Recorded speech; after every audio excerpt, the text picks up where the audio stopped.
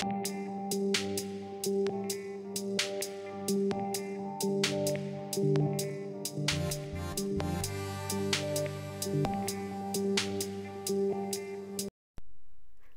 عليكم ورحمة الله وبركاته حبايبي طلاب الصف الخامس الابتدائي. أهلا وسهلا بكم في حلقة جديدة من حلقات منهج ال Connect 5 ومكملين مع unit 7 ومعادنا النهاردة مع part 2 أو الجزء الثاني من lesson 2 الدرس اللي فات طبعا يا حلوين كان عبارة عن الجزء الأول من الدرس الثاني والنهاردة معادنا مع الجزء الثاني طيب يا miss في جزء النهاردة هناخد إيه؟ هناخد حاجتين مهمين جدا. أول حاجة هنروح في مغامرة علشان نستكشف حاجة اسمها ال howler monkey. howler monkey زي ما أنتم شايفين ال monkey ده اسمه howler monkey. فهنروح مع بعض في رحلة علشان نستكشف ونعرف هو إيه ال howler monkey ده أصلا وبيعيش فين. بعد كده هنروح لزمن مهم من أزمنة الإنجليش وهو زمن ال past simple tense. past simple tense وطبعا عدى علينا كتير هو زمن الماضي البسيط. فتعالوا مع بعض يا حلوين نروح لمغامرة الهولر مونكي وأول حاجة هنبدأ بيها مغامرتنا هي الكلمات. أول كلمة معانا هي كلمة scientist. scientist نقول مع بعض scientist. وكلمة scientist من الكلمات اللي مش جديدة علينا خالص لأنها عدت علينا كتير. scientist يعني برافو عليكم يعني عالم. scientist يعني عالم. بعد كده عندي كلمة تانية وهي كلمة research. research. research يعني بحث. research يعني بحث. العالم ده بيعمل إيه؟ بيعمل أبحاث أوكي؟ فكلمة بحث يعني research. بعد كده عندي كلمة family groups. Family groups. Family groups يعني مجموعات عائلية. Family groups يعني مجموعات عائلية أوكي بعد كده عندي كلمة إيه؟ كلمة younger. كلمة younger. إحنا عارفين إن كلمة young يعني صغير السن. فلما أضيف لها ال er هتبقى صفة مقارنة من الدرجة التانية اللي قلنا عليها ال comparative. معناها إيه؟ معناها أصغر سنا من. أقول مثلا Ali is younger than زياد. علي أصغر من زياد فكلمة younger يعني أصغر أوكي؟ بعد كده عندي كلمة local villagers local villagers. بصوا يا حلوين كلمة village يعني قرية كلمة village يعني قرية. هضيف لها er فهتبقى villager يعني قروي. هضيف لها الاس فهتبقى جمع اللي هم القرويين يعني الناس اللي عايشين في قرية. وكلمة local يعني محلي. فلوكال villagers معناها السكان المحليين أو القرويين المحليين اللي عايشين في القرية دي. بنقول عليهم إيه؟ local villagers local villagers اللي هم سكان المنطقة. فكده نكون عرفنا أصل الكلمة جاية من كلمة إيه؟ من كلمة village اللي هي القرية. بعد كده عندي كلمة frightened frightened frightened. زي ما شايفين البنت دي مالها خايفة أو مرعوبة فكلمة خايفة أو مرعوبة هي كلمة frightened. Frightened ودي بنستخدمها اللي هي منتهية بالإيدي علشان نوصف الأشخاص. صفة منتهية بإيدي نوصف بيها الأشخاص. فنقول الشخص ده خائف. She is frightened يعني هي خايفة. بعد كده عندي كلمة howler monkey howler monkey إيه حكاية ال howler monkey ده؟ ال howler monkey ده نوع من أنواع القرود اسمه القرد العواء. والقرد العواء يعني إيه العواء؟ يعني اللي إيه؟ اللي صوته عالي صوته عالي وبيعوي كده okay؟ صوته إيه؟ صوته عالي عامل زي صوت العواء. القرد ده بيبقى موجود فين؟ موجود في أمريكا فهو نوع من أنواع القرود الأمريكية أوكي؟ لينا حكاية معاه ومغامرة هنخلص الكلمات ونروح لها. الكلمة الأخيرة معانا هي كلمة path. path كلمة path يعني طريق. كلمة path يعني طريق أوكي؟ يلا يا حلوين نقول الكلمات مرة تانية علشان نروح للمغامرة. كلمة scientist يعني عالم وبحث يعني research family groups يعني مجموعات عائلية younger يعني أصغر local villagers برافو عليكم اللي هم القرويين المحليين frightened يعني خائف holler monkey قرد العواء path يعني إيه؟ يعني طريق أو ممر. نروح للمغامرة. في الريدنج هنلاقي بيقول لنا إيه؟ بيقول لنا إني My uncle يعني عمي is a scientist and loves animals. يعني عمي بيكون إيه؟ بيكون عالم وهو بيحب الحيوانات. يبقى he is a scientist يعني هو عالم and loves animals وبيحب الحيوانات. When he was younger لما هو كان أصغر من دلوقتي يعني أصغر من سنه الأحداث هتبقى في زمن ال past. ال past اللي هو قلنا عليه إيه؟ برافو عليكم قلنا عليه الماضي. He traveled سافر a lot in South America for work. He traveled يعني هو سافر a lot كثيرا. سافر كثيرا في South America اللي هي أمريكا الجنوبية for work. يعني للعمل أو من أجل العمل. يعني هو كان بيشتغل هناك. He loved it. He loved it. يعني هو أحبها. اللي هي مين؟ اللي هي South America أمريكا الجنوبية. He loved it there. ليه بقى؟ Because people were very friendly. إحنا أخدنا في ال session اللي فات يعني إيه friendly friendly جاية من كلمة friend اللي هو صديق ف friendly يعني ودود. يعني شخص كده مرحاب وبيرحب بالناس. فإيه؟ نحب نتعامل معاه فكلمة friendly يعني ودود فهو حب أمريكا علشان الناس أو ال people كانوا very friendly. And وكمان helped him ساعدوه with his work ساعدوه في الشغل بتاعه الخاص بإيه؟ الخاص بال animals أو الحيوانات. Then about three years ago ومن حوالي ثلاث سنين فاتوا something frightening something frightening نلاحظ هنا إن frightening منتهية بال ing مش ال ed زي ما أخدناها في الكلمات. يا حلوين اللي منتهية بال ed دي بتوصف الشخص بتوصف الشخص إنه خايف. أقول سلمى is frightened. سلمى is frightened يعني سلمى خايفة. سلمى إيه؟ خايفة. لكن frightening بال ing معناها إنه الشيء مخيف أو الحدث اللي حصل ده مخيف. أقول إيه؟ The flood was frightening. يعني الفيضان كان مخيف. ف frightening هنا معناها إنه في حدث حصل والحدث ده كان مخيف. لأنه هنا بيقول لنا إيه؟ Something frightening شيء مخيف happened to him. Happened to him يعني حصل له. حصل مع مين؟ مع my uncle عمي. And he was lucky he was lucky. كلمة lucky برضو أخدناها وأخدنا العكس بتاعها. كلمة lucky يعني محظوظ والعكس بتاعها إيه يا شاطرين؟ مين فاكر؟ برافو عليكم. العكس بتاعها unlucky unlucky يعني غير محظوظ أو سيء الحظ. فهنا my uncle أو عمي was lucky. He lived to tell me about it. يعني عمي كان محظوظ إن هو عاش علشان يحكي لي إيه يحكي لي عن الحدث أو عن المغامرة اللي هنشوفها دلوقتي. He was very interested in howler monkeys. هو كان مهتم بالقرد العواء أو القرود العواء and wanted to. وأراد أن. أراد أن إيه بقى؟ Do some research. Do some research. إحنا قلنا إن كلمة research يعني بحث. Research يعني بحث. فيعمل بحث معناها إيه؟ Do research. Do research. يبقى يعمل بحث. Do research. يعني هنا بيقول لنا إنه عمه أراد أن يعمل أو يجري بعض الأبحاث into their family groups. يعني إيه؟ حب يعمل شوية أبحاث عن مجموعاتهم العائلية علشان يشوف سلوكهم إيه؟ وعلشان يعرف أنماط عيشة الهولر مونكيز إيه.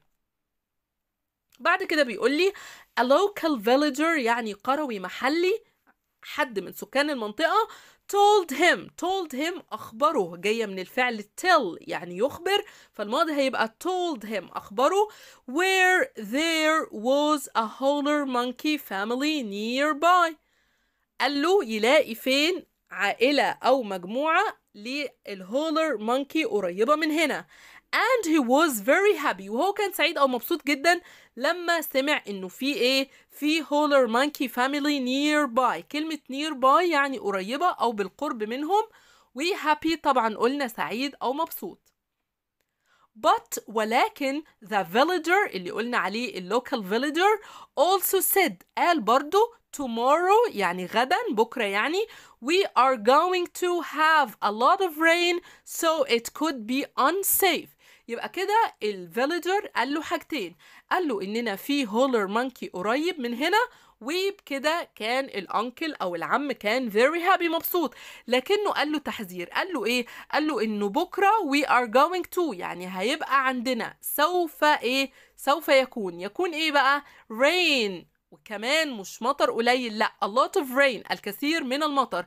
ولذلك الموضوع هيكون unsafe unsafe غير آمن. طب لو عايزة أقول كلمة تانية غير unsafe علشان نقول غير آمن أو خطير هتبقى كلمة إيه يا شاطرين؟ ها حد يقول لي؟ سامعة حد ممتاز جدا بيقول لي dangerous. برافو عليك شكلك مركز في السيشن اللي فات. لأننا في السيشن اللي فات قلنا كلمة unsafe عكسها safe آمن. Unsafe تساوي dangerous. unsafe يعني غير آمن مساوية لكلمة إيه؟ مساوية لكلمة dangerous يعني خطير. يبقى كده هو حذره وقال له إن الوضع هيبقى خطير. يا ترى عمه هيروح ولا مش هيروح؟ تعالوا نشوف. بيقول لي my uncle set out to look for the howler monkey family. عمه ما اهتمش بالتحذير و set out انطلق يبحث عن ال howler monkey set out يعني إيه؟ انطلق. Look for يعني يبحث عن. Look for يعني يبحث عن. يبحث عن مين؟ ال howler monkey family. عائلة قرد العواء. And soon وإيه؟ وقريبا يعني he was deep in the jungle he was deep in the jungle يعني تعمق في أعماق ال jungle jungle يعني إيه؟ jungle يعني الغابة أو الأدغال طيب إيه الفرق بين jungle وإيه الفرق ما بين zoo؟ zoo اللي هي حديقة الحيوانات اللي إحنا بنروحها بنلاقي فيها حيوانات ولكن الحيوانات دي بتبقى إيه يا حلوين؟ بتبقى محكومة وبنلاقيها في القفص وممكن نتعامل مع بعض الحيوانات اللي موجودة فيها زي إيه؟ زي ال camels وزي ال... طبعا ما نتعاملش مع ال lions زي ال monkeys أوكي؟ إنما ال jungle دي إيه؟ الأدغال اللي بتعيش فيها الحيوانات المفترسة اللي ما ينفعش نقرب منها. فعمه خد ال risk أو المخاطرة وراح ال jungle أو الغابة دي أو الأدغال وكان was deep يعني تعمق أو كان في أعماق الغابة. طب يا ترى إيه اللي هيحصل؟ تعالوا نشوف مع بعض. بيقول لنا he could hear. كان قادر يسمع the monkeys and he looked up. كان قادر إيه؟ يسمع أصوات ال howler monkeys اللي هي قرود العواء لأن طبعا أصواتها عالية جدا وتعتبر من أكتر الحيوانات اللي صوتها عالي. علشان كده اتسمت قرد العواء علشان الصوت العالي أوكي؟ And he looked up. نظر إلى إيه؟ نظر إلى الأعلى. He knew هو كان عارف. He was very close to them. هو عارف إن هو قريب جدا منهم. Then the rain started. وحصل اللي حذروا منه اللوكال villager اللي هو إيه؟ الأمطار. The rain started. بدأ إيه؟ بدأ المطر. It was very heavy rain. كان مطر غزير جدا. Was very heavy rain. كان أمطار غزيرة. Soon. يا ترى هيتصرف إزاي؟ بيقول لي soon there was water everywhere. وبسرعة كده المية كانت إيه؟ كانت مالية المكان وكانت everywhere. Everywhere يعني كانت في كل مكان. And he couldn't. And he couldn't. وما كانش قادر see the path. ما كانش قادر يشوف الطريق to go forward or back. ما كانش قادر يشوف الطريق لا قدامه ولا وراه يعني لا قادر يتقدم ويطلع لقدام فورورد ولا قادر يرجع للخلف اللي هو الباك يبقى كده الطريق كانت مسدودة سواء قدامه أو وراه بسبب المية اللي بقت موجودة في كل مكان. Suddenly فجأة lots of water الكثير من المياه came towards him. came towards him يعني جت ناحيته أو جت باتجاهه على اتجاهه and carried him away down to the river. وكمان جرفته أو حملته بعيدا للنهر. أوكي؟ يبقى هو كده إيه؟ هو كده ممكن يغرق. يبقى المط المطرة ومياه الأمطار كانت كتيرة جدا لدرجة إن المطر سحبه أو المياه سحبته لتحت عند ال river أو النهر. طبعا يا ترى إحساسه هيبقى عامل إيه؟ طبعا هيكون خايف جدا. وزي ما أنتوا شايفين هنا بيقول لنا he was very frightened. خايف جدا زي ما أنتوا شايفين في الصورة. Suddenly وفجأة he saw a hand. He saw a hand يعني شاف إيد and someone وشخص ما was shouting. Was shouting. Shouting يعني يصرخ أو يصيح. زي ما يكون حد إيه يا ترى حد غرقان معاه ولا حد بينده عليه علشان ينقذه؟ تعالوا نشوف. It was the villager. فاكرين الفيلجر اللي قال له على مكان الهولر مونكي وفي نفس الوقت حذره أهو هو ده ال local villager اللي بنتكلم عليه. يا ترى كان عايز إيه ال local villager ده؟ تعالوا نشوف. بيقول لي he took أخذ uncle's hand. أخذ إيده and said وقال له now you are safe. الآن أنت بأمان. يبقى كده ال local villager سحبه من المية وأنقذ حياته وهو دلوقتي إيه؟ Very safe. آمن جدا.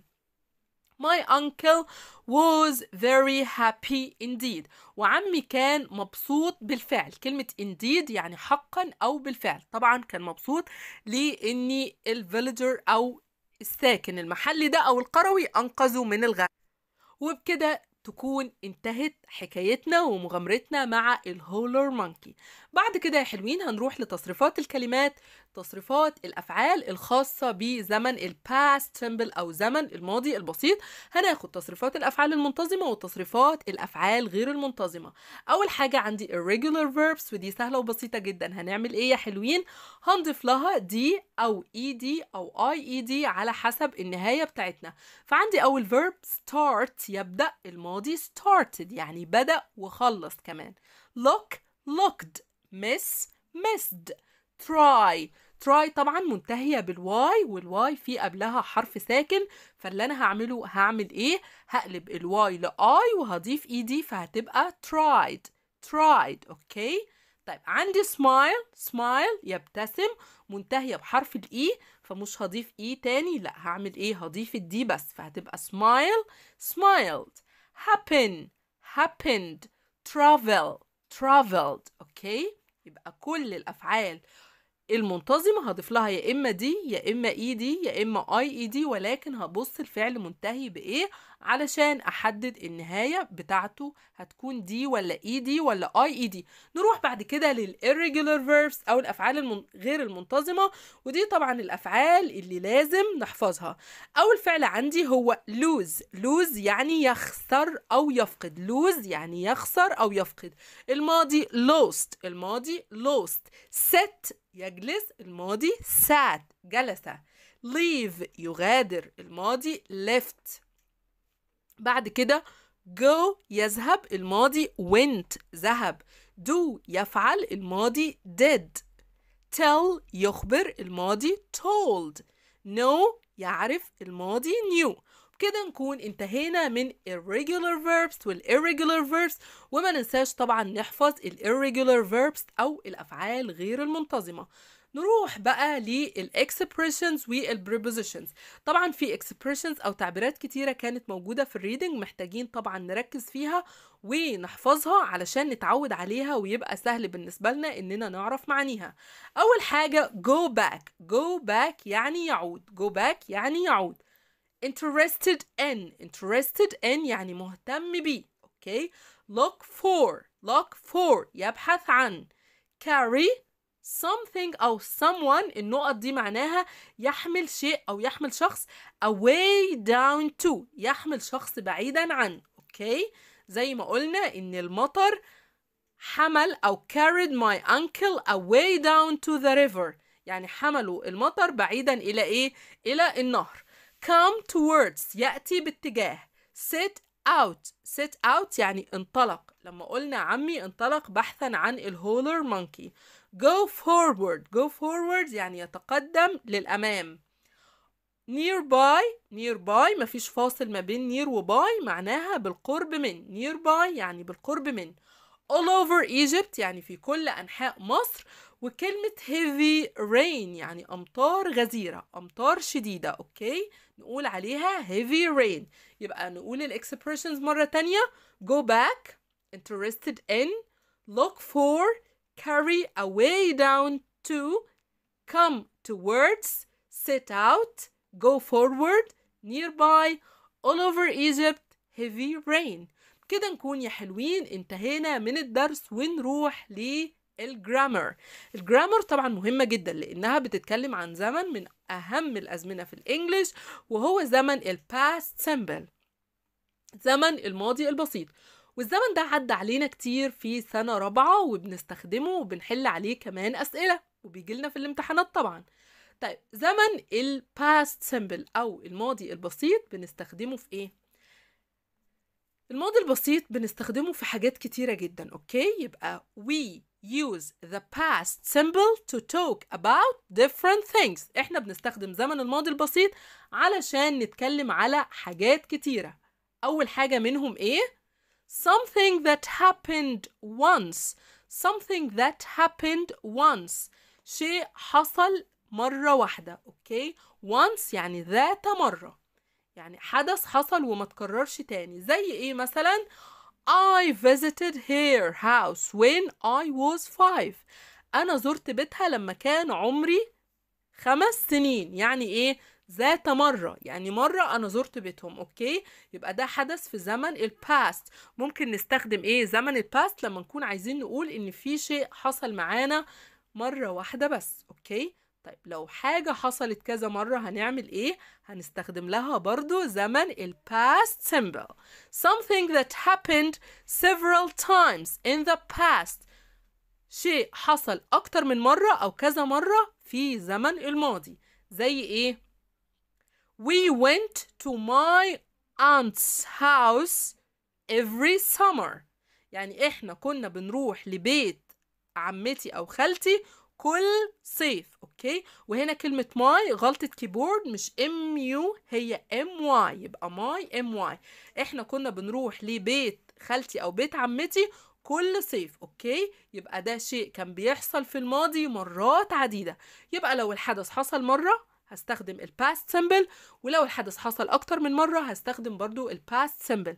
يبقى كده أحداث في الماضي بدأت في الماضي وكمان انتهت. فهستخدم لها ال past simple. طيب هل انتهت الاستخدامات على كده؟ لا طبعا. الاستخدام اللي بعد كده قال لي something that was true.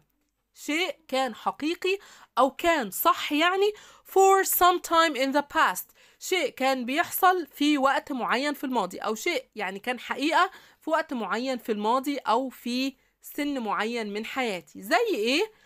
He loved living in his grandma's apartment as a child. يعني لما هو كان طفل كان بيحب إن هو يعيش في شقة جدته. okay يبقى he loved living in his grandma's apartment as a child.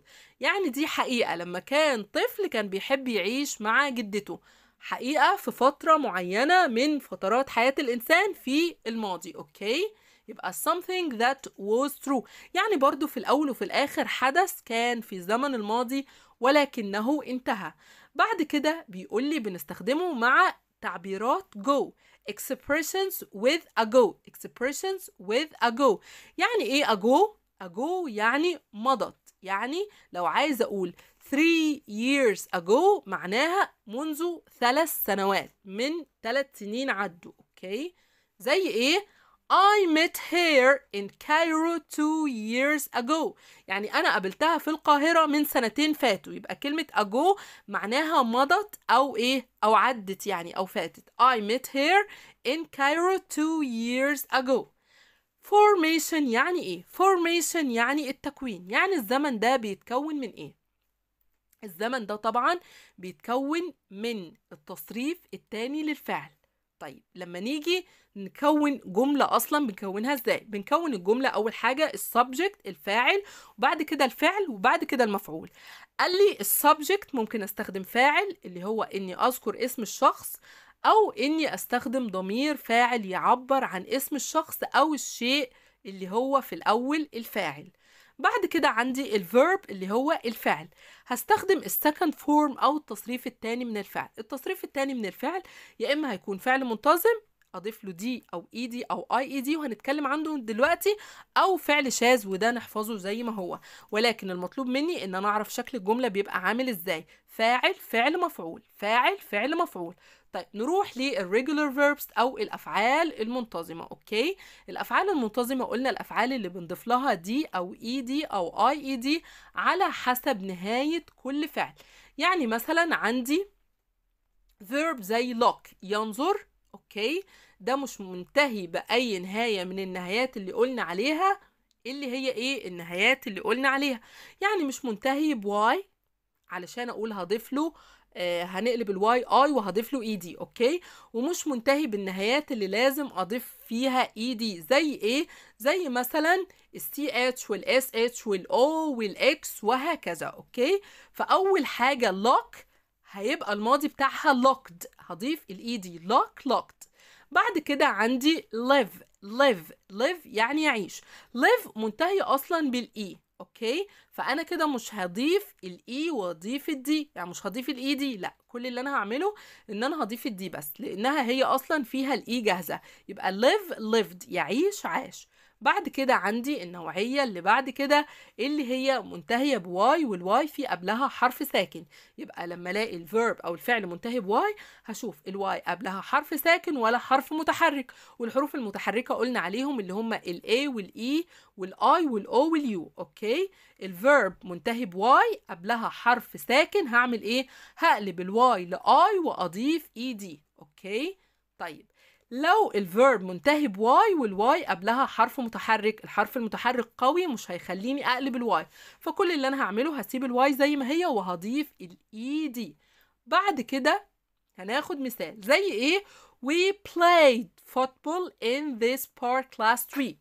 We played يعني إحنا لعبنا الحدث حصل في الماضي وانتهى. إحنا لعبنا وخلصنا. We played football in this park last week. يعني إحنا لعبنا football في هذا المنتزه أو هذه الحديقة الأسبوع اللي فات. يعني حدث حصل وخلص بعد كده ال irregular verbs أو الأفعال غير المنتظمة وقلنا نحفظ الجملة دي. تحفظ كما هي. مش هعمل فيها أي تعديل ولا هخترع فيها أي اختراع. كل المطلوب مني إن أنا أحفظها.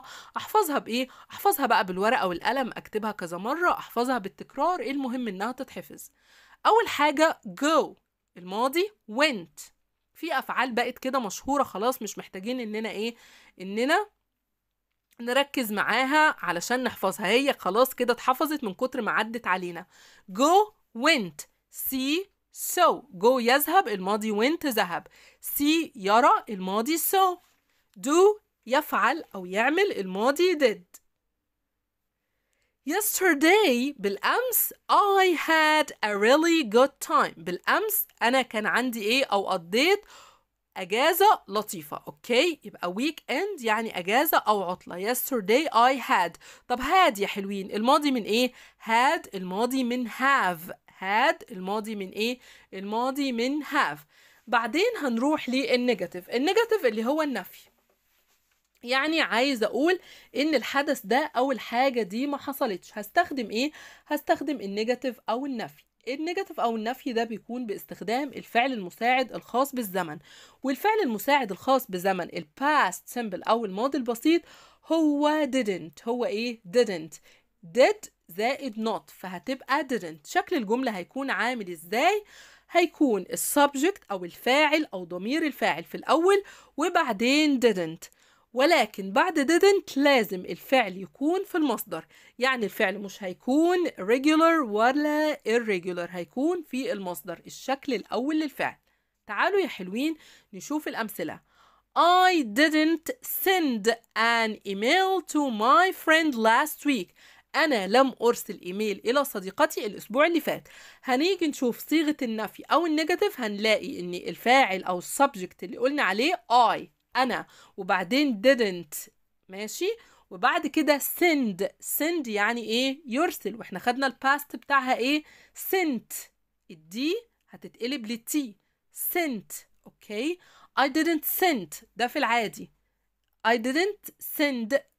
I didn't send. أنا لم أرسل. يبقى كده send التصريف الأول للفعل أو ال infinitive ما ينفعش أقول I didn't sent. ما ينفعش بال t لازم تبقى إيه؟ لازم تبقى الشكل الأول للفعل اللي هو send أوكي؟ بعد كده he didn't study his lessons yesterday. هو ما ذاكرش الدروس بتاعته بالأمس. يبقى الفاعل he وبعدين didn't النفي وبعدين study اللي هو التصريف الأول للفعل أو الانفينيتيف يذاكر his lessons دروسه بالأمس. وأخيرا he didn't go. He didn't go. She didn't go. She didn't go. ما قلتش طبعا she didn't went. لو كتبت له she didn't went أو اخترت له she didn't went هتبقى الإجابة بتاعتي غلط جدا وهيتقال عليا إن أنا ما فهمتش زمن الماضي البسيط. المفروض she وبعدها didn't وبعدها الفعل فين؟ في المصدر اللي هو go.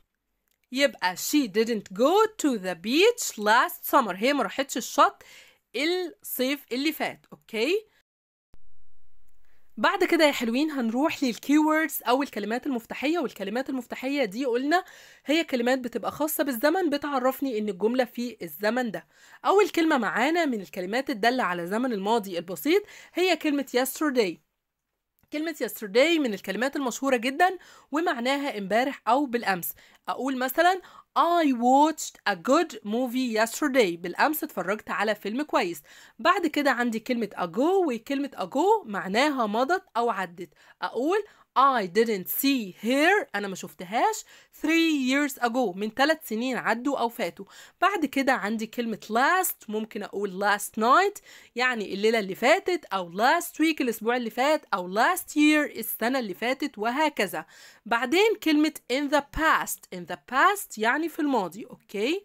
بعدين كلمة once. Once ذات مرة أو في مرة من المرات لأننا قلنا بنستخدم الزمن ده لما يكون معانا حدث حصل مرة واحدة بس وبعد كده كلمة when when يعني عندما. أقول مثلا when I was young لما كنت صغير I couldn't walk ما كنتش قادر أمشي. بعد كده عندي in وبعدين فترة أو زمن أو سنة عدت. يعني مثلا أقول 2019 2018 1990 وهكذا. يعني إن لازم أجيب بعدها سنة فاتت. أقول مثلا in 2019 I was in Cairo. في 2019 I was in Cairo. أنا كنت في القاهرة. وبعد كده عندي كلمة this morning. This morning هذا الصباح.